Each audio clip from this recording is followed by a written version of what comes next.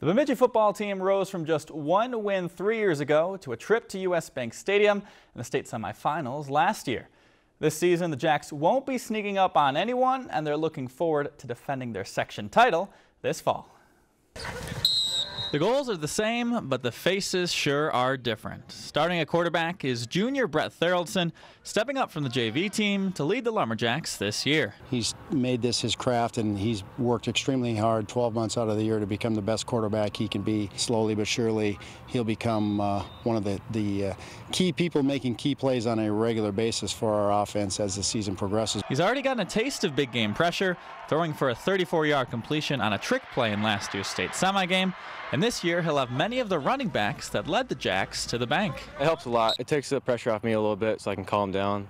And you know, I trust those guys. With no Ryan Bieberdorf, expect the Jacks to employ a multitude of wide receivers in a diverse attack. Our talent's definitely more spread out. You know, we just kind of had our one threat receiver last year and our quarterback, but our talent's definitely more spread out this year. The strength of the team, at least at the start of the season, will be the defense, with multiple returning starters leading the way.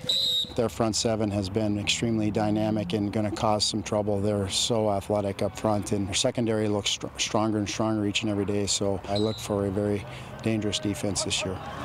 The defense is ready to pick up the offense if needed as the Jacks open with a tough schedule against Andover and Brainerd. We got to step it up, you know, if offense is slipping, then we got to step up and stop the ball, get it back to our offense, let them try to score again. Last year's section title may have been a surprise to some, including the Jacks, but this year they have new confidence that could carry them to new heights. I think last year we didn't really know we were going to be able to get that far. So this year we definitely set our bar higher with some new talent. So I think we, we know what our goals are, so it should be easier to see and go through the season. One, two, three, family!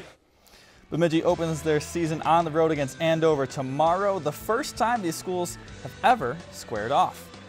If you enjoyed this segment of Lakeland News, please consider making a tax-deductible contribution to Lakeland PBS.